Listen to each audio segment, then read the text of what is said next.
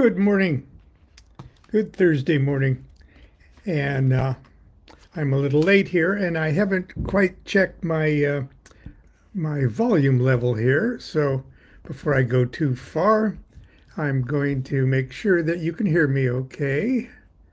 Let's see, system settings.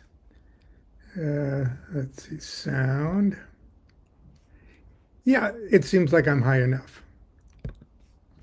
Well, maybe I'm not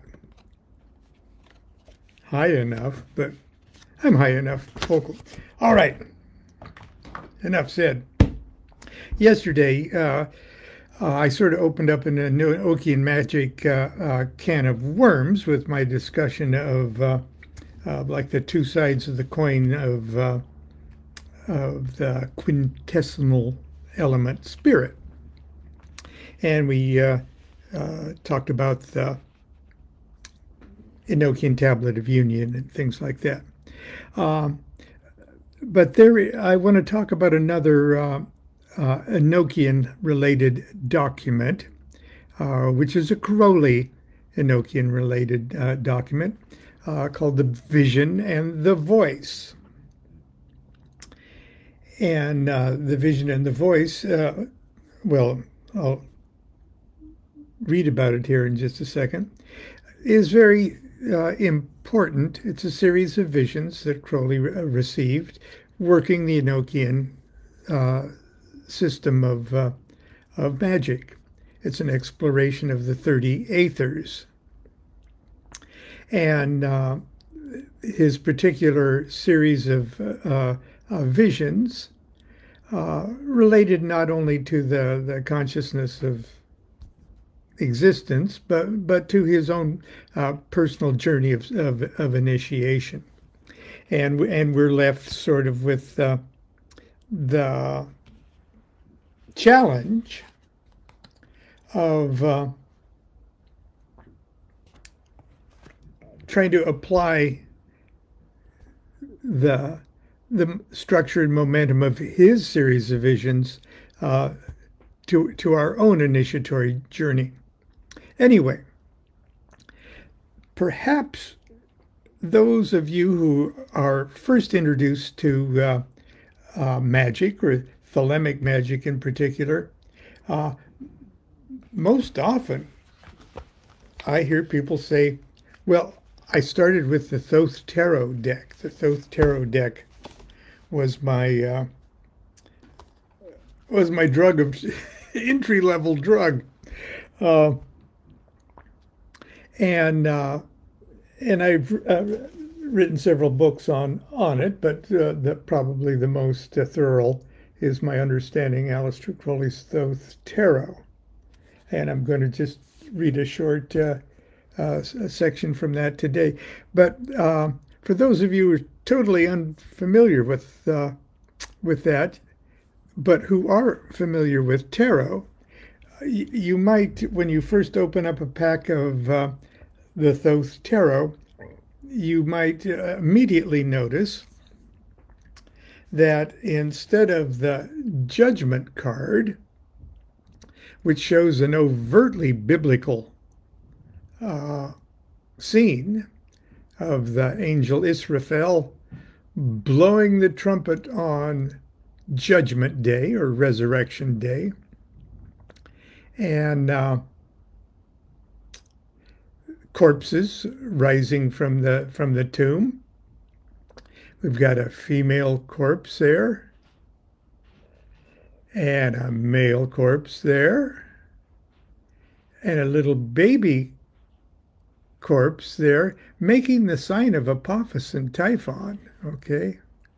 And uh, they're making different uh, signs and they're all rising from their uh, from their sepulchres.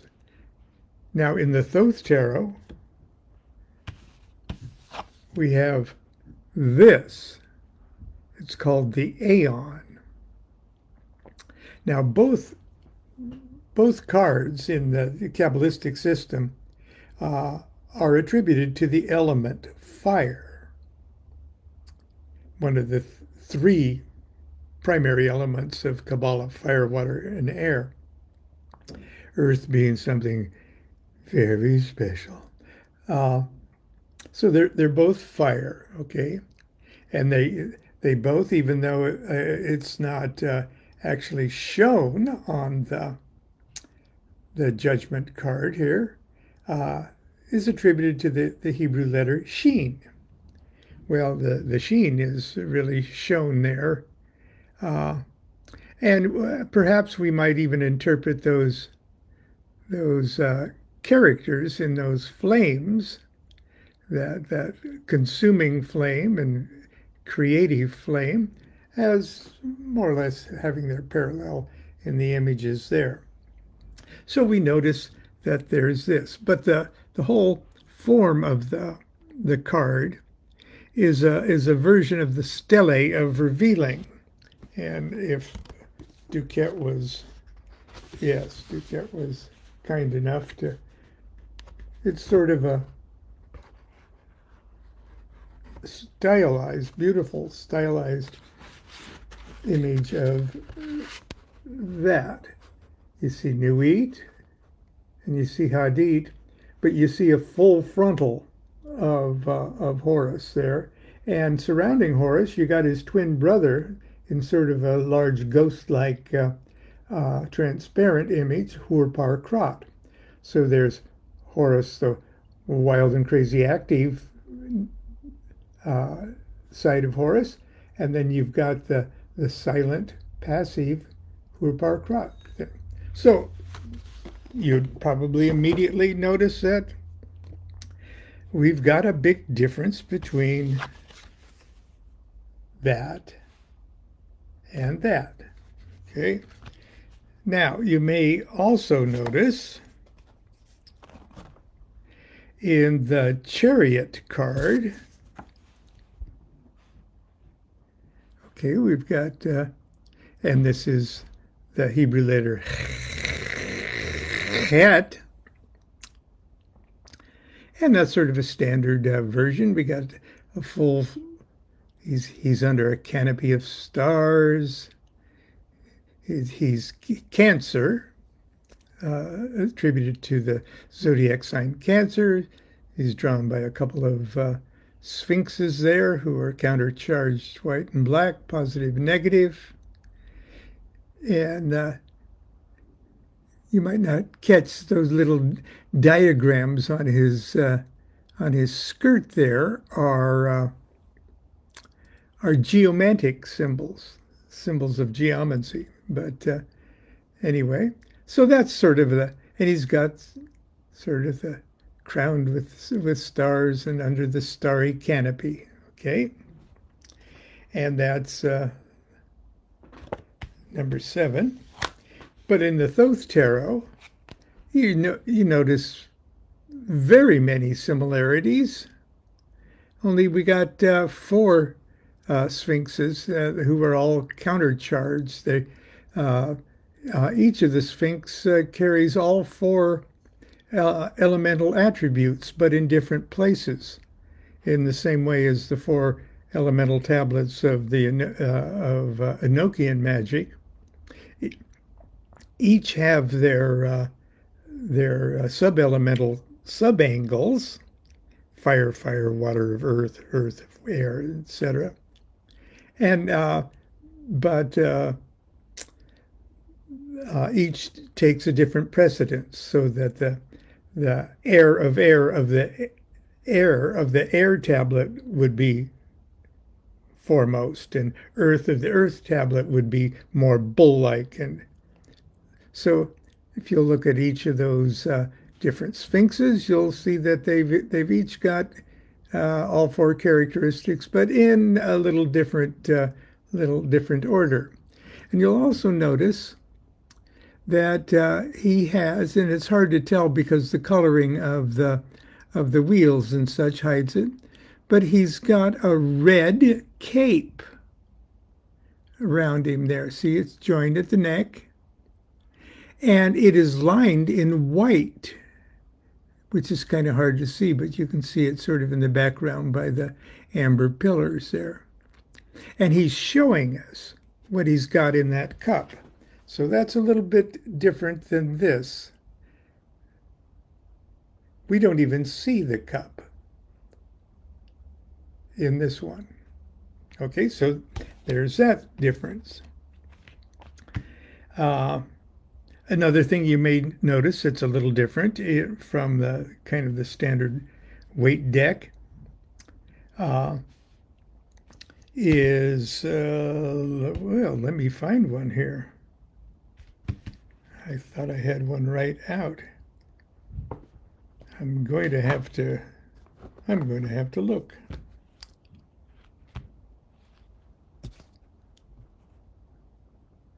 Well, first of all, there is uh, the universe card. And here we see the cherubic images in the, the corners. Now, cherubic symbols of the fixed sign of the zodiac. Aquarius for the angel of Aquarius, the eagle of Scorpio, Leo the lion, and Taurus the bull. So those are the fixed signs of the zodiac. So we could we could project a zodiacal wheel on here, and those those uh, uh, landmarks we could we could rotate it till we till all those landmarks fall into place. And if you're interested in Enochian magic elemental tablets, the subangles of the of each elemental tablet in that corner is the fire subangle, the water subangle, the air subangle, and the earth subangle. Okay, we we see that, and uh, we see it probably in another couple cards, but I'm going to quickly locate another. In the Thoth Tarot, we have cards that also contain those cherubic images. Geez. Here we go.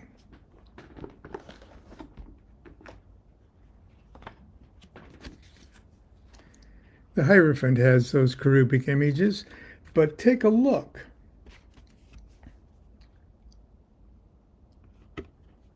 The angel on the Thoth image is up, up there on the right and the eagle is up there on the left. That's a difference. Now, did Crowley change positions in the zodiac of uh, between Aquarius and Scorpio? No. Th this is still, this corner here is still Aquarius. And this corner here is still Scorpio. But now, the image of Scorpio and, and Aquarius has been has has switched.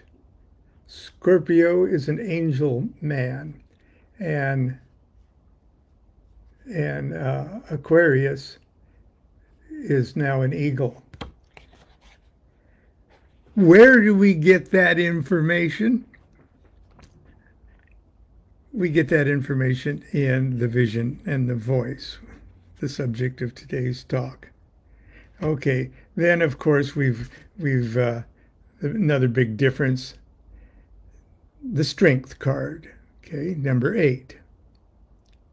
Now the strength card has always shown, well, it shows a, a, a woman with that infinity sign above her head. A pretty woman, usually, uh, with her arms around the neck of a lion. And, it, and we don't know whether she's opening the lion's mouth or closing the lion's mouth or just scratching under its chin. But it's a cozy relationship. Now, even in the old, old days, in the early days of Tarot's creation, this has always been a blind for Babylon and the beast. It's always been that.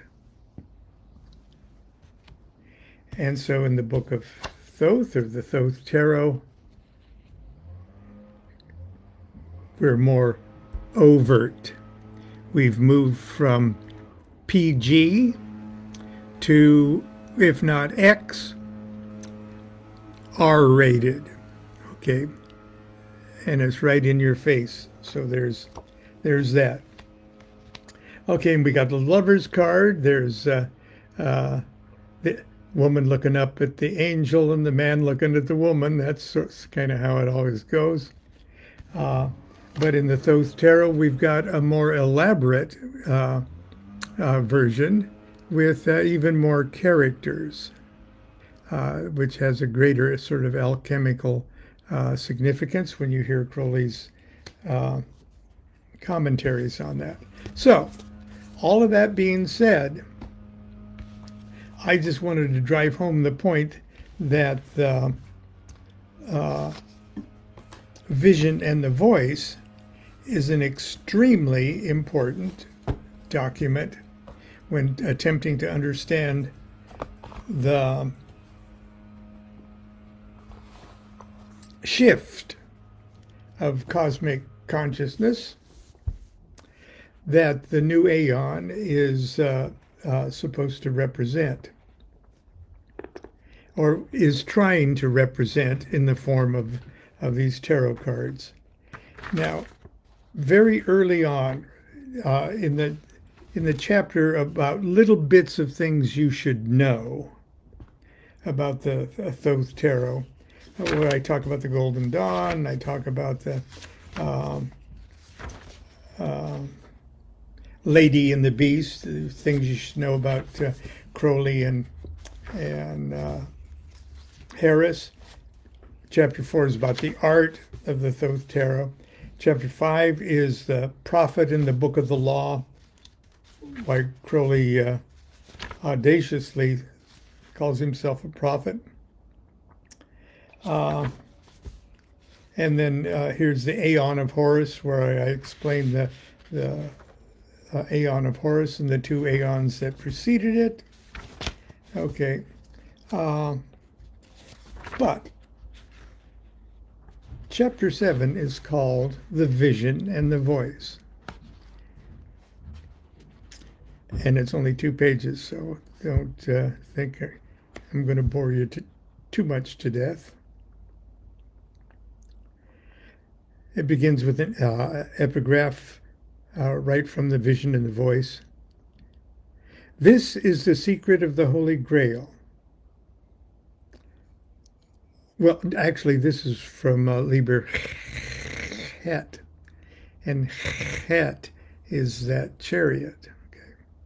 This is the secret of the Holy Grail, that is, the vessel of Our Lady, the Scarlet Woman, Babylon, the mother of abominations, the bride of chaos, that rideth upon our Lord the Beast. Now, we must briefly address an essential component of the Thoth Tarot that many people that for many people demands an open mind.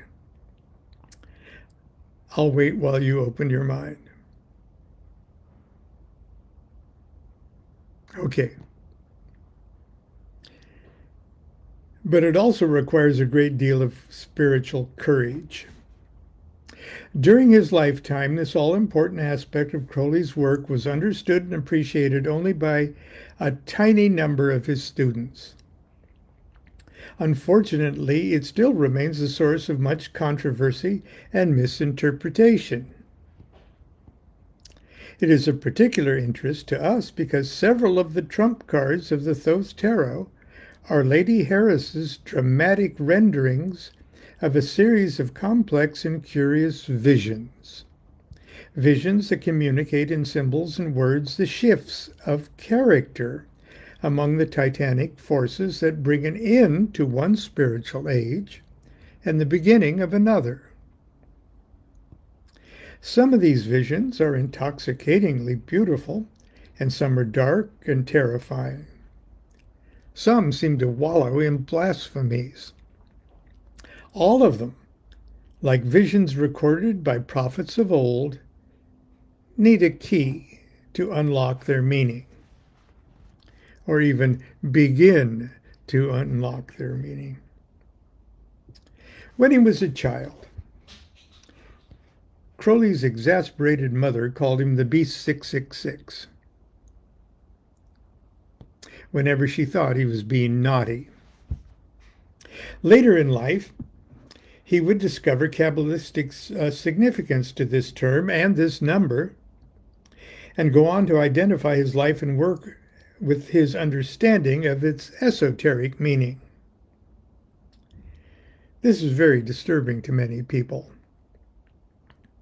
It's understandable that anyone with a Christian background would recoil in horror when he or she first encounters Crowley's shocking use of words and images such as the Beast 666, the Scarlet Woman, All Father Chaos, the Horror of Babylon,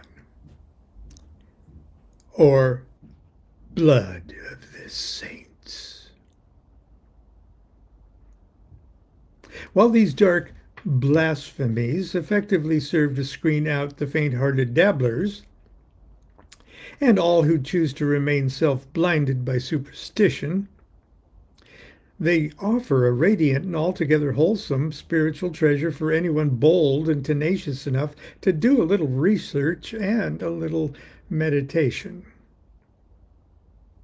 As we discussed in the previous preceding chapter, Crowley taught that we stand at the threshold of a new aeon, a period of profound intellectual and spiritual growth and self realization. In order to illustrate the evolutionary forces at work at this pivotal moment, he employed a venerable but easy to misinterpret literary device.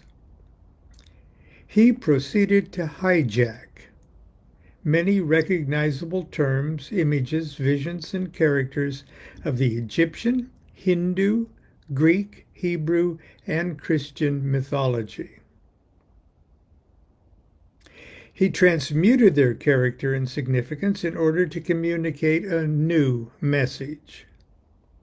A message for the ears of modern men and women, whose rapidly expanding consciousness has now equipped them to perceive objective and spiritual realities that would have been incomprehensible to seekers of only a few generations ago.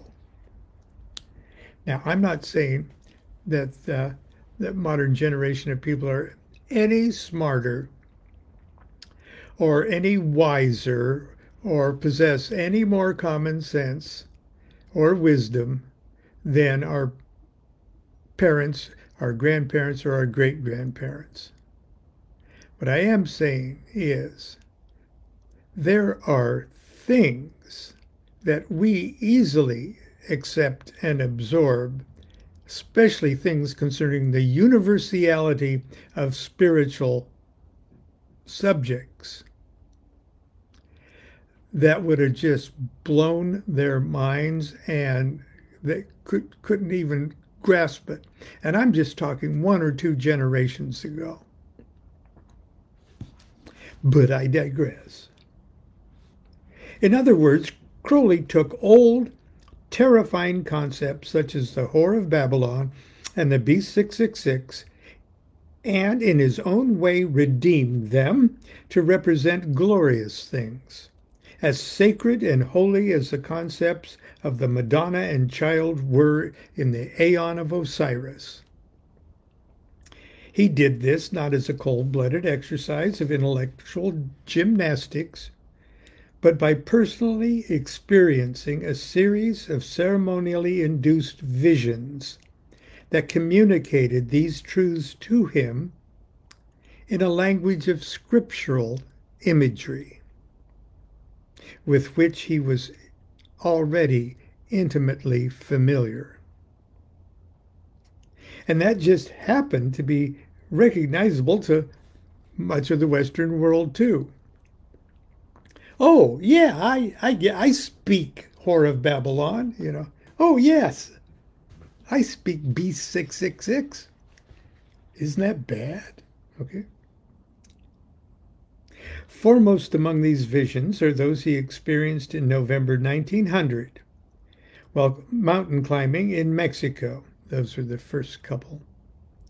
And between November 23rd and December 19th, 1909. This is after he received the Book of the Law. He got most of them. And he got them while walking across the North African Sahara. A record, excuse me, of these 30 visions was first published as Liber 418, The Vision and the Voice, in the spring of 1911 and as a supplement to the Equinox. They are the source and the key to the spiritual doctrines of Thelema, including the almost universally misunderstood theogony of the goddess Babylon and the All Father Chaos. And I'm sure I got a footnote here. I'm sure the the note uh, attributes the goddess Babylon to uh, number three on the tree of life and the All Father Chaos to number two on the tree of life. Hokmah, Binah Shiva, Shakti, Beast, Babylon. Obviously, these visions were intensely personal and, on one level, dealt specifically with Crowley's own initiatory career. On another level, one that should be of particular interest to us, they were also revelations concerning the universal initiation that humanity and the world is undergoing at this pivotal moment in human evolution. He categorized these initiatory events in the same progressive order as the 10 degrees of the Hermetic Order of the Golden Dawn which represented a spiritual ascent up the tree of life. While all the degrees are important and represent levels of human consciousness, the fifth degree, which is the Sephiroth number six on the tree of life, that's why they say five equals six. It's the fifth degree concerning the six Sephirah. Uh, and the eighth degree, and the eighth degree is uh, uh,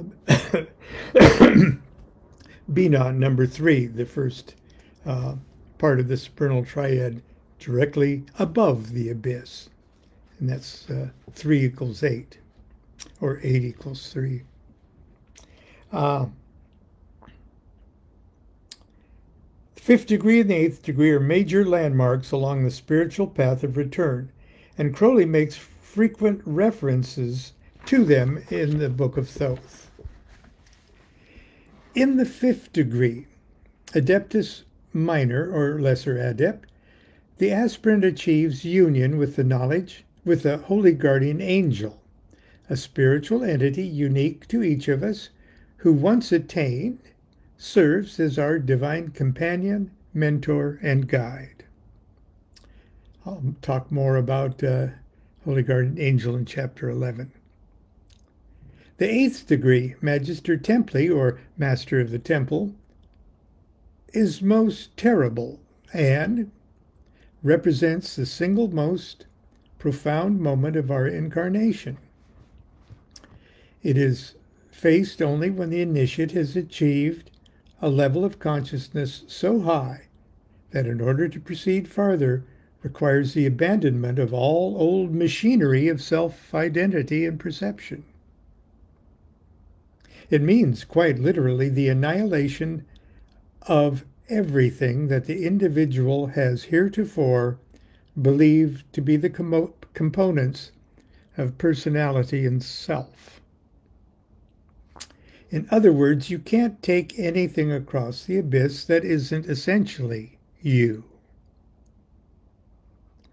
Now, before you throw up your hands and dismiss all of this as just complex and ridiculous delusions of a cult of 19th century eccentrics, please pause and keep in mind that terms such as the Holy Guardian Angel and the Abyss are simply convenient terms for universal spiritual experiences that in other times and cultures are known by other names.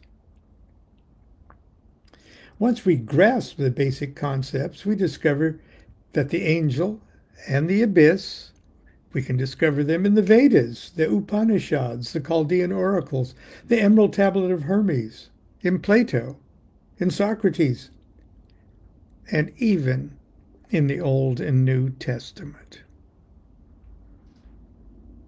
No matter how these initiations may present themselves, no matter by what name we choose to label them, every human being, indeed, every unit of evolving consciousness, will eventually wed the angel and face the ordeal of the abyss.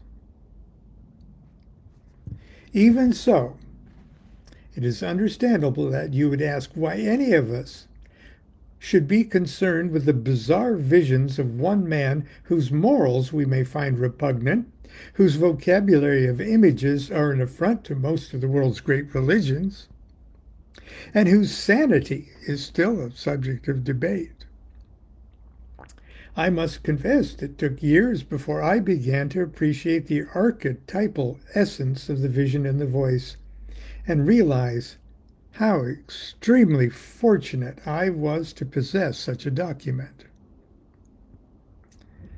Once I shed a few superstitions and fears and carefully examined Crowley's symbolic images and words, I found it to be not only an eloquent and colorful example of one person's initiatory adventures, but also a valuable roadmap to my own spiritual journey. I wish space allowed me to discuss the vision and the voice in detail, but that's been done admirably in the vision and the voice with commentaries and other papers. Uh, I'm sure that that is now long out of print. Um, and it provides an in depth study of the wondrous visions uh, and brings to light the spiritual reality of many tarot images. I hope this chapter has assuaged any anxiety you may have harbored concerning the true spiritual nature of the, quote, blasphemies, unquote, that seem to spew from Crowley's works, and that you are now prepared to learn more about the Thoth Tarot fearlessly without freaking out at the mention of things as Babylon or the beast or the blood of the saints or the scarlet woman or chaos or the mother of abominations. Okay, that's what I had to say in understanding Crowley's Thoth Tarot. Now, how do you get a vision in the voice in this day and age where much Crowley material that uh, has in the recent past been in print and currently is not? Uh, I helped curate and edit uh, a, a, series of three books uh, inexpensive paperback books uh, for the good folks at Wiser Books, Red Wheel Wiser. And they're called the Best of the Equinox series. And there's uh, one on dramatic ritual that includes rites of Eleusis, and there's one on sex magic, and all this material from the Equinox, okay, from the 10 volume set of Equinox, uh, volume 1, uh, numbers 1 through 10. And there's one on Enochian magic. And the entire vision and the voice is included in that one little paperback book. And that's available uh, from Amazon, directly from Wiser, I'm sure it's in Kindle too. Okay. It's called The Best of the Equinox series. The publisher is Red Wheel Wiser or Wiser Books. Uh, there's three volumes. Choose the volume that's, that says, uh, oh, or get them all. They look good there on, on your shelf. Uh, But if you want the vision and the voice, just the pure vision and the voice, not only that, but his Liber Chanokh uh, tells you how to how to actually do Enochian magic. Uh, avail yourself of, of that. Uh, do it right now. It, well, if you're interested in that kind of stuff. Anyway, that's it for today. I thought it was only going to be about two minutes today, but uh, uh, we've obviously gone over.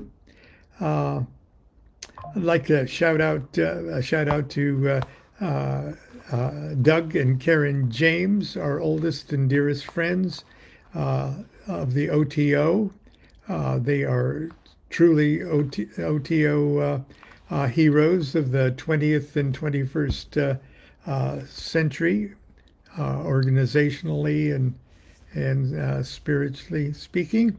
They came down from Oregon to pay us a visit yesterday, and we had a very nice lunch. And it reminded me how much uh, how much the OTO, as a fraternal organization, can mean to people. So, big shout out, and a just a few days before, our good friend Michelle Catlett, who I could say the same wonderful fraternal love words to, uh, paid us a visit too. So uh, we've had a happy spring and uh, we feel energized magically. Anyway, until tomorrow, continue to be good to yourself and be good to each other. Do what thou wilt shall be the whole of the law. Love is the law, love and under will.